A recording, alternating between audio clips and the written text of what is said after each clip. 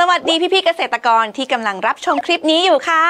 วันนี้นะคะเราจะไปปรับปรุงคุณภาพทุเรียนกันที่ภาคใต้ตอนบนค่ะ ใครนะคะที่กำลังปลูกทุเรียนสายพันธุ์หนักอย่างเช่นหมอนทอง ต้องมารับชมคลิปนี้เลยค่ะ ตอนนี้นะคะการทำใบทุเรียนนะคะ ที่ภาคใต้ตอนบนกำลังทำใบชุดที่หนึ่งค่ะ ซึ่งเป็นระยะใบเพสลาดแล้วค่ะ ใบเพสลาดนะคะ เป็นใบที่ปากใบเปิดแล้วนะคะ สามารถรับธาตุอาหารต่างๆ ได้ ฉะนั้นค่ะ ในช่วงนี้เราสามารถให้ปุ๋ยทางใบได้แล้วนะคะ โดยใช้สูตร 15 30 15 หรือจะเป็นสูตรนะคะ 10 52 17 ในอัตราส่วน 30ถึง40 กรัมต่อน้ำ 20 ลิตรค่ะ และก็สามารถให้ธาตุอาหารรองหรือว่าธาตุอาหารเสริมนะคะจำพวกแมกนีเซียมก็จะทำให้ใบเข้าสีได้เร็วยิ่งขึ้นค่ะ ส่วนศัตรูทุเรียนที่ต้องระวังในช่วงนี้นะคะ ต้องระวังเลยค่ะ เพลี้ยไฟเพลี้ยหอยและเพลี้ยไก่แจ้ค่ะ เพี้ยเหล่านี้นะคะ จะมาดูดกินน้ำเลี้ยงของใบค่ะทำให้ใบนะคะไม่สามารถสะสมอาหารได้อย่างเต็มที่ ส่งผลต่อการออกดอกนั่นเองค่ะ และส่วนโรคนะคะ ความชื้นแบบนี้ต้องระวังเลยค่ะ โรครากเน่าโคนเน่า อันนี้เนี่ยเป็นโรคยอดฮิตของภาคใต้เลยค่ะ แล้วก็ที่สำคัญนะคะ โรคราสีชมพูก็อาจจะเกิดขึ้นได้ โรคใบจุดสาหร่าย ก็อย่าปล่อยไว้ให้กวนใจนะคะ แต่ว่าจะต้องป้องกันหรือว่ากำจัดอย่างไร วันนี้ค่ะ เรามีเทคนิคดีๆ มาแนะนำกันด้วยค่ะ ระยะใบเพสลาด ใบระยะนี้จะกลางเต็มที่ มีการเจริญเติบโตทั้งความยาว ความกว้าง เป็นใบเต็มใบแล้วค่ะ แต่สียังเป็นสีเขียวอ่อน เพราะเป็นช่วงที่ใบเริ่มมีการสะสมอาหาร ซึ่งใบเพสลาดจะอยู่ในขั้นตอนการทำสีใบให้เขียวเข้มขึ้นค่ะการให้ปุ๋ยทางใบก็ควรให้ในระยะนี้ เพราะใบในระยะนี้เป็นใบที่กลางเต็มที่ พร้อมที่จะสะสมอาหาร เนื่องจากปากใบเปิดค่ะ ธาตุอาหารที่จำเป็นในระยะนี้ ก็จะเป็นปุ๋ยทางใบ สูตร 15 30 15 หรือ 10 52 17 ในอัตรา 30ถึง40 กรัมต่อน้ำ 20 ลิตร รวมกับธาตุอาหารรองธาตุอาหารเสริมจำพวกแมกนีเซียม ซึ่งแมกนีเซียมจะทำหน้าที่ให้ใบเข้าสีได้เร็วขึ้น ใบเขียวเข้ม หนาและใหญ่ขึ้นค่ะในระยะนี้นะคะอาจจะมีโรคและแมลงรบกวนได้หลายชนิดเลยค่ะ เช่นโรครากเน่าโคนเน่า โรคใบจุดสาหร่าย โรคราสีชมพู ส่วนศัตรูทุเรียนที่สำคัญในระยะยอดอ่อนของใบชุดนี้ ก็คือเพี้ยหอย เพี้ยไฟและเพี้ยไก่แจ้ค่ะ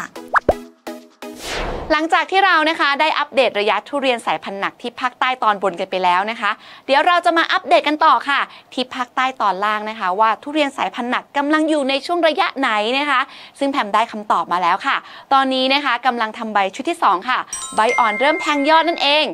ในใบชุดที่ 2 นี้นะคะ เราจะยังคงต้องทำให้ใบใหญ่นะคะ ใบหนามีสีเขียวเข้มค่ะ เพราะว่าใบชุดนี้นะคะ จะช่วยสะสมอาหารนะคะทำให้ต้นทุเรียนมีความสมบูรณ์ค่ะศัตรูทุเรียนที่ต้องระวังในช่วงทำใบแบบนี้ ต้องระวังให้ดีเลยค่ะ กับเพี้ยไฟ เพี้ยหอยและเพี้ยแป้งค่ะ และส่วนโรคนะคะ ที่ต้องระวังนะคะ ก็หนีไม่พ้นเลยค่ะ โรครากเน่าโคนเน่า ราสีชมพู และใบจุดสาหร่ายค่ะ การทำใบชุดที่ 2 ระยะใบชุดที่ 2 เริ่มแทงยอดอ่อน หลังจากใบชุดที่ 1 เข้าสู่ระยะใบเพสลาดถึงใบแก่นิ่ง ควรรดน้ำแบบประทัง หรือแบบรักษาความชื้น เพื่อเร่งให้ใบชุดที่ 1 แก่ค่ะ หลังจากใบชุดที่ 1 เป็นใบแก่แล้ว ควรตัดหญ้าเพื่อเตรียมความพร้อมก่อนการทำใบชุดที่ 2 และใส่ปุ๋ยทางดินครั้งที่ 2 ในช่วงของการบำรุงต้นเพื่อทำใบค่ะ ช่วงนี้ให้สังเกตขนาดของใบชุดที่ 1 ถ้าขนาดของใบมีขนาดใหญ่และบาง ให้ใส่ปุ๋ยที่มีสัดส่วนตัวกลางสูง เช่น 1 ต่อ 2 ต่อ 1 หรือ 1 ต่อ 3 ต่อ 1 เช่น ปุ๋ยเคมีสูตร 12 24 12 หรือ 8 24 24 อัตรา1ถึง1.5 กิโลกรัมต่อต้น และควรพ่นปุ๋ยทางใบ สูตร 15 30 15 หรือ 10 52-7 ในอัตรา 30-40 กรัม ต่อน้ำ 20 ลิตร สัก 2-3 ครั้งค่ะ เพื่อเพิ่มการสะสมธาตุอาหาร ตั้งแต่ใบชุดที่ 2 เริ่มผลิยอดเป็นยอดอ่อน อาจจะมีโรคและแมลงรบกวนได้หลายชนิดค่ะ เช่น โรครากเน่าคนเน่า โรคใบจุดสาหร่าย โรคราสีชมพู ส่วนแมลงที่สำคัญในระยะยอดอ่อนของใบชุดนี้ ก็คือเพลี้ยไฟเพลี้ยจักรจั่นฝอย และเพลี้ยไก่แจ้ค่ะ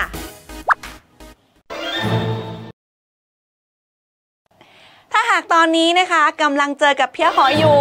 วันนี้ค่ะ เราก็มีวิธีการจัดการมาฝากกันด้วย จะเป็นยังไงไปชมกันเลยค่ะ เพี้ยหอย เป็นแมลงศัตรูทุเรียนอีกชนิดหนึ่ง ที่สามารถเข้าทำลายทั้งกิ่ง ใบและผลทุเรียน โดยการดูดกินน้ำเลี้ยงทำให้ใบทุเรียนมีรูปร่างผิดปกติ ใบสีเหลืองซีด แห้ง กิ่งและผลบิดเบี้ยว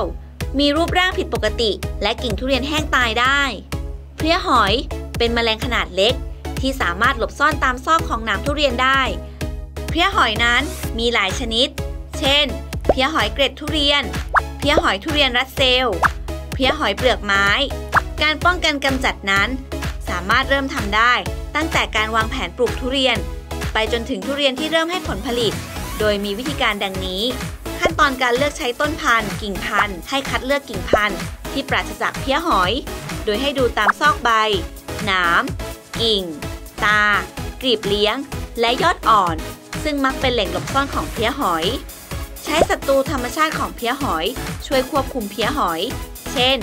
ร่วงเต่าลาย แมลงปีกใสสีเขียวมวน ตัวห้ำแมงมุม และแตนเบียนชนิดต่างๆ มันสำรวจแปลงปลูกทุเรียน ถ้าหากเริ่มพบการระบาดของเพี้ยหอย ให้เด็ดใบ หรือตัดแต่งกิ่ง และยอดที่พบเพี้ยหอย แล้วนำไปเผาทำลายทิ้ง รวมถึงกำจัดวัชพืชและพืชอื่น ๆ ที่เป็นแหล่งอาศัยของเพี้ยหอย ในกรณีที่ตรวจพบการระบาดในระยะเริ่มต้น เราสามารถใช้ปิโตรเลียมออยล์อัตรา 500 ถึง 100 ซีซี ต่อน้ำ 200 ลิตรพ่นกำจัดเพี้ยหอยได้อย่างปลอดภัย ส่วนถ้าหากเพลี้ยหอยระบาดรุนแรง เราอาจจำเป็นต้องใช้สารกำจัดแมลง โดยควรมีการสลับกลุ่มสาร เพื่อหลีกเลี่ยงการดื้อยาของเพลี้ยหอย เช่น imidacloprid อัตรา 50 กรัม หรือ dinotefuran อัตรา 200 กรัม หรือ buprofezin อัตรา 200 ซีซี ทุกอัตราแนะนำให้ผสมกับน้ำ 200 ลิตรสำหรับเพลี้ยหอย ในระยะตัวอ่อนนั้น เราสามารถใช้ pirimiphos-methyl อัตรา 300 ถึง 400 ซีซี ต่อน้ำ 200 ลิตร ใช้ร่วมกับ petroleum oil อัตรา 200 ซีซีเพลี้ยไฟมาแล้วใช่ไหมคะ ถ้ามาแบบนี้ต้องรีบจัดการเลยค่ะ แต่ว่าจะจัดการด้วยวิธีไหนนะคะ รายการของเราก็มีคำแนะนำมาฝากกันด้วยค่ะ เพี้ยไฟสามารถพบการระบาดได้ในช่วงที่มีอากาศร้อน มีแสงแดดจัด หรือในระยะทุเรียนแตกใบอ่อน ออกดอกและติดผลอ่อน โดยระบาดมากในช่วงเดือนพฤศจิกายน ถึงกุมภาพันธ์ เพี้ยไฟมีขนาดเล็กมาก มีลำตัวยาวประมาณเพียง 1มิลลิเมตรเท่านั้น ตัวเต็มวัยจะมีสีเหลือง หรือสีน้ำตาลอ่อน ตัวเมียจะวางไข่ บนใบอ่อน ใกล้เส้นกลางใบ หรือที่ยอดอ่อนและผลอ่อน ไข่ของเพี้ยไฟมีขนาดเล็กมาก ประมาณ 0.2 ถึง 0.3มิลลิเมตรเท่านั้น ระยะไข่อยู่ที่ 2-4 วัน หลังจากนั้นก็จะฟักเป็นตัวอ่อน มีสีขาว และจะเปลี่ยนเป็นสีเหลืองเข้มขึ้น ในช่วงทุกระยะของใบอ่อนทุเรียน เพี้ยไฟจะดูดกินน้ำเลี้ยง บริเวณเส้นกลางใบทำให้เส้นกลางใบกลายเป็นสีน้ำตาล และใบทุเรียนจะมีอาการหงิกงอ ซึ่งถ้าหากอาการรุนแรง ก็อาจทำให้ใบร่วงได้ ส่วนในระยะดอกอ่อนและดอกบานนั้น เราจะพบเพี้ยไฟ อาศัยอยู่ตามเกสรและกลีบดอกทำให้การผสมเกสรไม่สมบูรณ์ และเกิดอาการดอกร่วง ในทุเรียนระยะห่างแย้นั้น ดอกจะแสดงอาการไหมและในระยะผลอ่อน เราจะพบเพี้ยไฟอยู่ตามซอกของหนามผลทุเรียนทำให้หนามทุเรียนติดกัน เมื่อลูกทุเรียนโตจะกลายเป็นทุเรียนหนามจีบ หรือหนามติดทำให้จำหน่ายไม่ได้ราคา การป้องกันกำจัดเพี้ยไฟสามารถทำได้โดย หมั่นสำรวจแปลงปลูกทุกๆ 3 วัน โดยเฉพาะในระยะแตกใบอ่อน ออกดอกและติดผลอ่อน ใช้ระบบสปริงเกอร์เหวี่ยงพ่นน้ำประมาณ 1-2 ชั่วโมงต่อวัน หรืออาจใช้เครื่องพ่นพ่นน้ำในฤดูแล้ง ให้ใบเปียกโชกทั่วทรงพุ่ม เพื่อช่วยลดปริมาณของเพี้ยไฟให้อยู่ในระดับต่ำ ในกรณีที่มีการระบาดรุนแรง และจำเป็นต้องใช้สารกำจัดเพี้ยไฟ ควรใช้สารกำจัดเพี้ยไฟ สลับกลุ่ม พ่นสลับกัน เพื่อหลีกเลี่ยงการดื้อยา เช่น spinetoram อัตรา 100 ถึง 150 ซีซี สลับกับ emamectin benzoate อัตรา 100 ถึง 200 ซีซี สลับกับ abamectin อัตรา 100 ซีซี สลับกับ fipronil อัตรา 100 ถึง 200 ซีซี ทุกอัตราแนะนำให้ผสมกับน้ำ 200 ลิตรค่ะ ถ้าตอนนี้นะคะกำลังหนักใจเรื่องเพลี้ยไก่แจ้บอกเลยค่ะว่าวันนี้เรามีคำแนะนำดีๆ มาฝากกันด้วย รับชมคลิปจบแล้วสบายใจได้เลยค่ะ เมื่อตัวเต็มวัยของเพลี้ยไก่แจ้ทุเรียน เข้าไปวางไข่ที่ใบทุเรียน จะเห็นเป็นตุ่มสีเหลือง หรือสีน้ำตาลเป็นกลุ่มๆซึ่งจะมีไข่ประมาณ 8-14 ฟอง ตัวอ่อนขนาดเล็กมาก ประมาณ 1มิลลิเมตรเท่านั้น และเมื่อโตขึ้น จะมีขนาดประมาณ 3 มิลลิเมตร และจะพบว่ามีปุยสีขาว ติดอยู่ตามลำตัวคล้ายหางไก่ จึงได้ชื่อว่า เพี้ยไก่แจ้ หรือเพี้ยไก่ฟ้า ถ้าลอกคราบเป็นตัวเต็มวัย จะมีสีน้ำตาลปนเขียว ขนาดประมาณ 5มิลลิเมตร และมีอายุได้นานถึง 6 เดือน ตัวอ่อนและตัวเต็มวัยเพี้ยไก่แจ้ จะดูดกินน้ำเลี้ยงจากใบอ่อนของทุเรียนทำความเสียหายให้กับต้นทุเรียนอย่างมากทำให้ใบอ่อน เป็นจุดสีเหลือง และไม่เจริญเติบโต หากมีการระบาดมาก จะทำให้ใบทุเรียนหงิกงอ และถ้าเพี้ยไก่แจ้ เข้าทำลายในช่วงที่ใบอ่อนยังเล็กมาก และใบยังไม่คลี่ออก จะทำให้ใบทุเรียนแห้งและร่วงได้ ตัวอ่อนของเพี้ยไก่แจ้ มักจะขับสารเหนียวๆสีขาว ออกมาปกคลุมบนใบทุเรียน และเกิดเชื้อราตามบริเวณดังกล่าว ในระยะตัวอ่อนของเพี้ยไก่แจ้ทำความเสียหายให้ใบอ่อนทุเรียน ดอกอ่อน และผลอ่อนทุเรียนมากที่สุด การกำจัดเพี้ยไก่แจ้ทุเรียนนั้น สามารถทำได้โดย ใช้ศัตรูทางธรรมชาติของเพี้ยไก่แจ้ทุเรียน เพื่อควบคุมปริมาณ ได้แก่ ต่อด้วงเต่าปีกลายหยักด้วงเต่าสีเข้มด้วงเต่าลายสมอ แมลงปีกใส และแมงมุมชนิดต่างๆ เพี้ยไก่แจ้มักจะเข้าทำลายที่ใบอ่อน ดังนั้นถ้าเราทำทุเรียนแตกใบอ่อนพร้อม ๆ กัน จะทำให้ช่วงเวลาการทำลายของเพี้ยไก่แจ้ มีระยะที่สั้นลง และความเสียหายลดลง ดังนั้นเราสามารถกระตุ้นการแตกใบอ่อนของทุเรียน ให้แตกใบอ่อนพร้อมๆกัน โดยการใช้ยูเรีย 40 0 0พ่นทางใบในอัตรา 200 กรัม ต่อน้ำ 20 ลิตรต่อต้น ซึ่งการแตกใบอ่อนสามารถทำให้เกิดได้ในช่วงเดือนมิถุนายน ถึงกรกฎาคม หลังการตัดแต่งครั้งที่ 1 ส่วนการแตกใบอ่อนครั้งที่ 2 นั้น จะอยู่ในช่วงเดือนสิงหาคม ถึงเดือนกันยายน หลังการตัดแต่งครั้งที่ 2 เกษตรกรควรสำรวจตรวจยอดอ่อน และใบอ่อนของทุเรียน ถ้าพบเพี้ยไก่แจ้ ให้ใช้กับดักสารเหนียวสีเหลืองรอเอาตัวเต็มวัยมาทำลาย หรือฉีดพ่นน้ำบนใบอ่อนทุเรียนที่คลี่แล้ว เพื่อลดปริมาณเพลี้ยไก่แจ้ ในกรณีที่มีการระบาดรุนแรง และมีความจำเป็นต้องใช้สารกำจัดแมลง ควรใช้สารกำจัดแมลงต่างกลุ่มพ่นสลับกัน เพื่อหลีกเลี่ยงการดื้อยา เช่น dinotefuran อัตรา 50 ถึง 100 กรัม หรือ emamectin benzoate อัตรา 100 ถึง 200 ซีซี สลับกับฟิโฟนิล อัตรา 100 ถึง 200 ซีซี ทุกอัตราแนะนำให้ผสมกับน้ำ 200 ลิตรค่ะ หลายสวนนะคะ เริ่มเจอเพลี้ยแป้งกันแล้วนะคะ วันนี้ค่ะ เราเลยมีคำแนะนำดีๆมาฝากกันด้วยนะคะ จะได้เตรียมตัวป้องกันนะคะ ก่อนที่จะเจอเพลี้ยแป้ง ส่วนสวนไหนเจอแล้วก็จัดการได้เลยค่ะ เพี้ยแป้ง เป็นแมลงศัตรูที่สำคัญของทุเรียน มักจะระบาดทำความเสียหายแก่ผลทุเรียน ตั้งแต่ระยะที่ทุเรียนเริ่มติดผล จนกระทั่งผลโตเต็มที่ พร้อมที่จะเก็บเกี่ยว ด้วยการดูดกินน้ำเลี้ยงจากบริเวณกิ่ง ช่อดอก ผลอ่อน ผลแก่ โดยมีมดเป็นตัวช่วยฆ่าพาเพี้ยแป้งไปยังส่วนต่างๆ ของต้นทุเรียนทำให้ส่วนของต้นทุเรียนที่ถูกทำลายแคลกแกลน นอกจากนี้ มูลของเพี้ยแป้งยังทำให้เกิดราดำเข้าทำลาย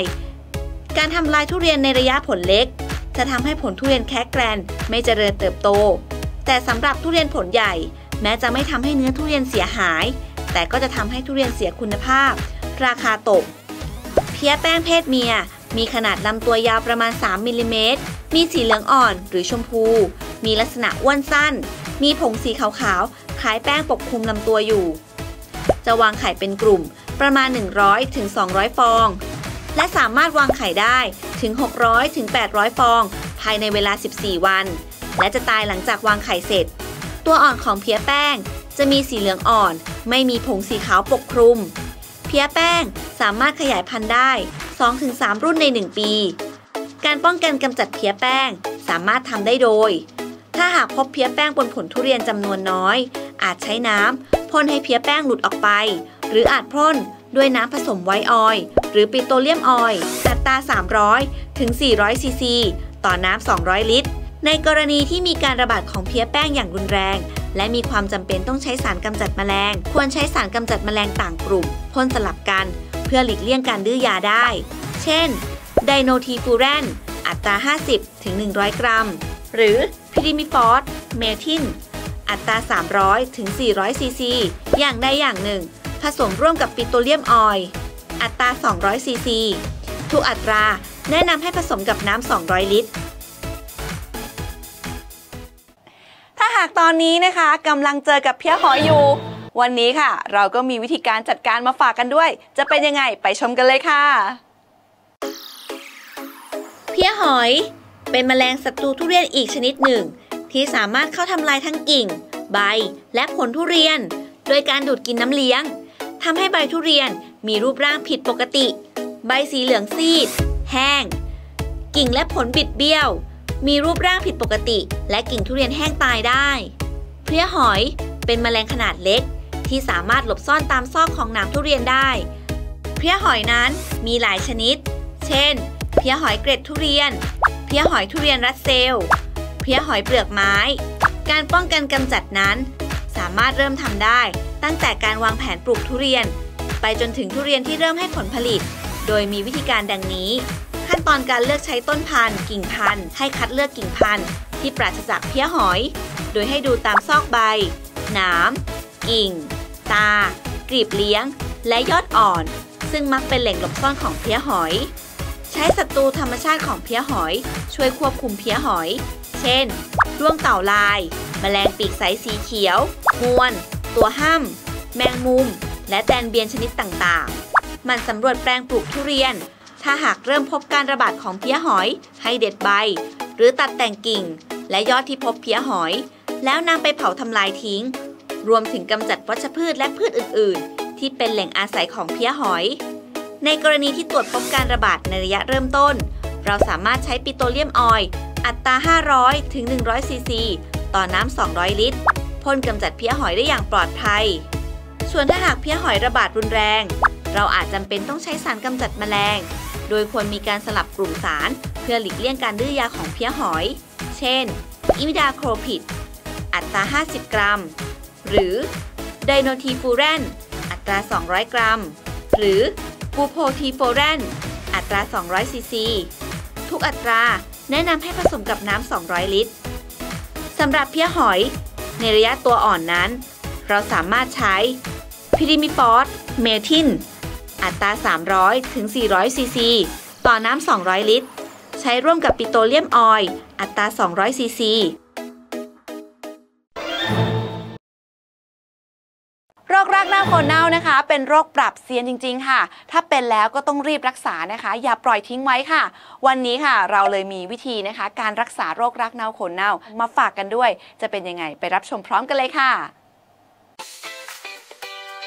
โรค รากเน่าโคนเน่า โรครากเน่าโคนเน่าเกิดจากเชื้อรา มักจะพบในช่วงที่ฝนตกชุก และความชื้นค่อนข้างสูง เกิดขึ้นได้ ทั้งบริเวณโคนต้นทุเรียน รากหรือใบทุเรียน หรืออาจจะติดไปที่ผลของทุเรียน หากพบอาการรากเน่าโคนเน่า บริเวณโคนต้น ให้ถากหรือขูดเอาส่วนที่เป็นโรคออกไปให้หมดจนถึงเนื้อไม้ โดยใช้มีด ขวาน หรือสิ่วจากนั้นทารอยแผลด้วย mancozeb ร่วมกับ valifenalate อัตรา 200 กรัม ผสมน้ำ 1 ลิตร หรือ metalaxyl อัตรา 100 กรัม ผสมน้ำ 1 ลิตร ทาบริเวณแผลที่เป็นโรค หลังจากนั้นอีกประมาณ 15 วัน ให้ตรวจดูแผลที่ทาไว้ หากยังมีลักษณะฉ่ำน้ำ ให้ทำซ้ำอีกครั้ง จนกว่าแผลจะแห้ง หรืออาจจะใช้ mancozeb ร่วมกับ valifenalate อัตรา 200 กรัม ผสมน้ำ 2-3 ลิตรพ่นบริเวณแผลก็ได้ค่ะ สำหรับการป้องกันโรครากเน่าโคนเน่า โดยการฉีดสาร phosphorous acid เข้าลำต้น ให้ผสมกับน้ำหรือใช้ phosphoric acid 10 ซีซี ต่อน้ำ 10 ซีซี ใส่กระบอกฉีดยา ขนาดความจุประมาณ 50 ซีซี และปฏิบัติดังนี้ค่ะ ขั้นตอนที่ 1 ใช้สว่านเจาะเปลือกลำต้น ให้สูงจากพื้นดิน ประมาณ 30-60 เซนติเมตร เจาะเป็นมุมเฉียงลงเล็กน้อย ให้ลึกประมาณ 1.5 ถึง 2 นิ้ว ขนาดของรูเจาะต้องพอดีกับปลายกระบอกฉีด ขั้นตอนที่ 2นำกระบอกฉีดยา อัดฉีดน้ำยาเข้าไปในลำต้นจนหมด ระวังอย่าให้น้ำไหลซึมออกมาภายนอก หลังจากนั้นใช้ปูนแดง อุดที่รอยเจาะ ปริมาณน้ำยาที่ใช้ขึ้นอยู่กับขนาดเส้นรอบวงของลำต้นทุเรียน โดยถ้าเป็นทุเรียนที่มีอายุ 7-8 ปีไปแล้ว ให้ใช้น้ำยา ประมาณ 1 กระบอกฉีดยา หลังจากการฉีดฟอสฟอริกแอซิดไปแล้วประมาณ 1-2 เดือน อาการเน่าของเปลือกทุเรียนจะค่อยๆ แห้งลง โดยสังเกตแผลที่เน่า จะเริ่มแตกระแหง ในกรณีที่ต้นเป็นโรครุนแรงมากๆ อาจจะใช้วิธีอัดสารเคมีเข้าลำต้น ร่วมกับการทาแผลที่ลำต้นหรือโคน จะช่วยให้โรคหายได้เร็วขึ้นค่ะโรคใบจุดสาหร่าย ก็เป็นอีกหนึ่งโรคที่ไม่ควรมองข้ามนะคะ ถ้าส่วนไหนนะคะกำลังพบกับโรคใบจุดสาหร่าย อย่าปล่อยทิ้งไว้นะคะ ต้องรีบจัดการเลยค่ะ โรคใบจุดสาหร่าย เรามักจะพบในช่วงที่ฝนตกชุก และอากาศมีความชื้นค่อนข้างสูง สามารถพบได้ทั้งบนกิ่ง และบนใบของต้นทุเรียน การป้องกันกำจัดโรคใบจุดสาหร่ายนั้น ควรตัดแต่งกิ่งทุเรียนที่เป็นกิ่งแห้ง กิ่งที่เป็นโรค หรือกิ่งกระโดง ซึ่งมีลักษณะกิ่งชี้ขึ้นฟ้า เพื่อลดความชื้น ที่เป็นสาเหตุสำคัญของโรคที่เกี่ยวกับเชื้อราทำให้แสงอาทิตย์ สาดส่องเข้าไปถึงในพุ่มใบ ช่วยลดการแพร่ระบาดของเชื้อรา โรคใบจุดสาหร่าย เมื่อตัดแต่งกิ่งที่เป็นโรคใบจุดสาหร่ายออกแล้ว ต้องนำออกไปเผานอกแปลงปลูกทุเรียน เพื่อกำจัดโรคใบจุดสาหร่าย ในสวนทุเรียนให้หมดไปสำหรับการกำจัดเชื้อราโรคใบจุดสาหร่ายนั้น เกษตรกรสามารถใช้ยากำจัดเชื้อราได้ เช่น copper hydroxideอัตรา 200-300ถึงกรัม หรือ copper oxychloride อัตรา 300-400 กรัม โดยการใช้สารแต่ละชนิดนั้น ให้ผสมกับน้ำ 200 ลิตร ฉีดพ่นทุก 5-7 วัน ในกรณีที่มีการระบาดของโรคอย่างรุนแรง และฉีดพ่นทุก 7-10 วัน ในกรณีฉีดเพื่อป้องกันโรคค่ะ วันนี้ไปตรวจดูที่สวนแล้วเจอกับโรคราสีชมพูกันหรือเปล่าคะ ถ้าเกิดว่ากำลังเจอกับโรคราสีชมพูอยู่ วันนี้ค่ะ เรามีเทคนิคดีๆนะคะ ในการกำจัดโรคราสีชมพูนี้ รวมถึงการป้องกันด้วยจะเป็นยังไงไปรับชมกันเลยค่ะ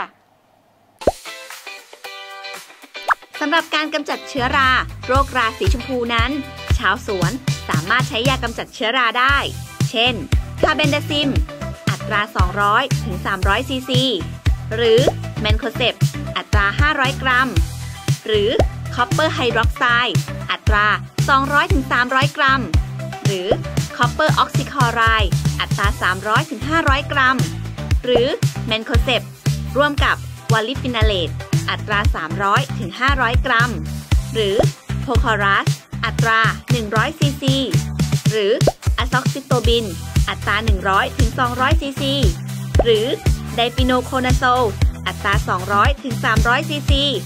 โดยการใช้สารแต่ละชนิดนั้น ให้ผสมกับน้ำ 200 ลิตร ฉีดพ่น ทุก 5-7 วัน ในกรณีที่มีการระบาดของโรคอย่างรุนแรง และฉีดพ่นทุก 7-10 วัน ในกรณีฉีดเพื่อป้องกันโรคค่ะสำหรับภาคใต้ตอนบนและภาคใต้ตอนล่างนะคะ การทำใบตอนนี้จะเหลื่อมกันเล็กน้อยค่ะเกษตรกรนะคะ ที่รับชมคลิปนี้แล้วก็อย่าลืมนำเทคนิคต่างๆนะคะ ไปปรับใช้ให้ตรงตามระยะกันด้วยนะคะ และสิ่งสำคัญเลยค่ะ ในช่วงนี้นะคะ ที่ภาคใต้ยังมีฝนตกบ่อยเลยนะคะ ความชื้นสูงแบบนี้โรครากเน่าคนเน่ามาแน่นอนค่ะ ถ้าพบแล้วนะคะ อย่าปล่อยไว้ต้องรีบรักษาด้วยนะคะ